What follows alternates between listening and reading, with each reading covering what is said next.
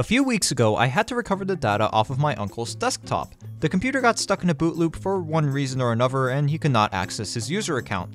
To get all of his family pictures off of his PC, he had tried several recovery techniques and even performed a system restore. Now, keep in mind, his hard drive was still 100% functional, he just could not boot into Windows to back up his files.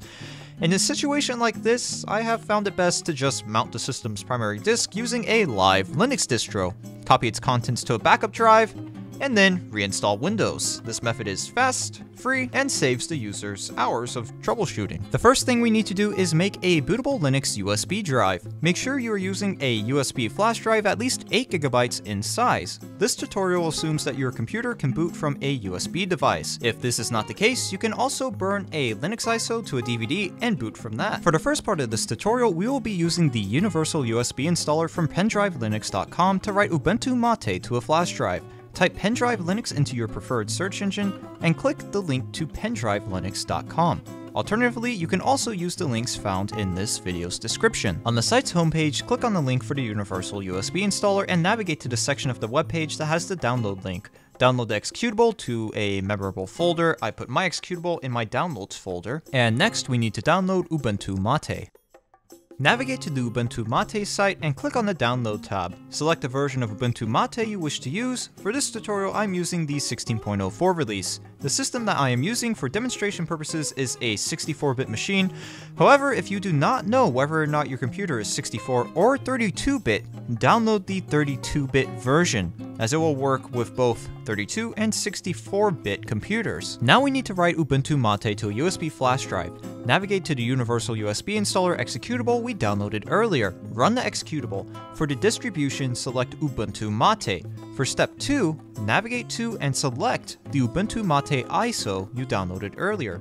Finally, assuming that you already plugged in the USB flash drive you plan to write Ubuntu to, select it from the drop-down menu, check the box labeled Format as FAT32, and click Create.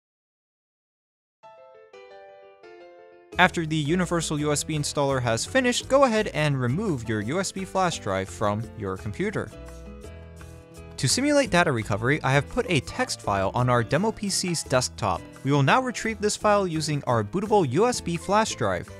To boot from our USB flash drive, we need to select it as our primary boot device. Selecting a boot device varies across systems. Usually this is as simple as hitting the F12 key repeatedly right when your computer turns on, and then selecting the USB device from the boot menu.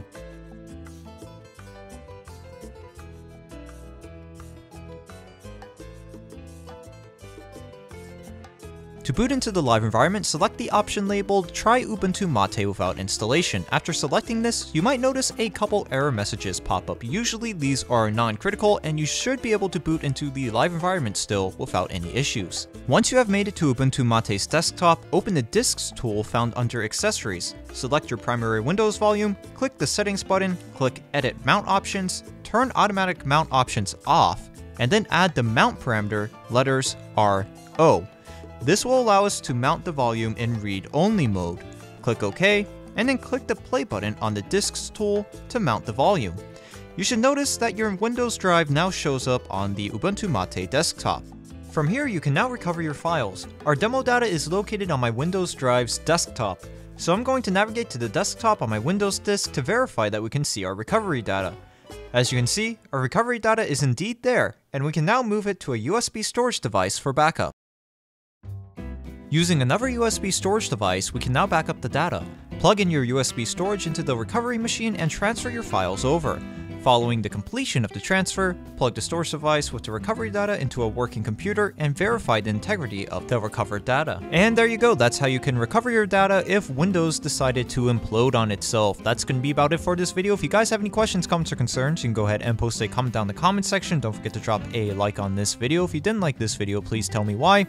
And of course, please do not forget to subscribe to the YouTube channel. If you want to support us, you can do so by checking out our Amazon or eBay affiliate links. Uh, if you purchase something with one of those, some of the uh, proceeds from your purchase go back to the channel. Uh, and also, if you want to support us, we have a Patreon as well. All those links down in the description. I think I touched on everything. Oh, yeah. We also have a Facebook page, so if you want to stay up to date with everything AA Computers and Technology, uh, go ahead and check out our Facebook page. That link will be in the description as well. Thanks for watching, guys, and I will see you in the next installment of AA Computers and Technology.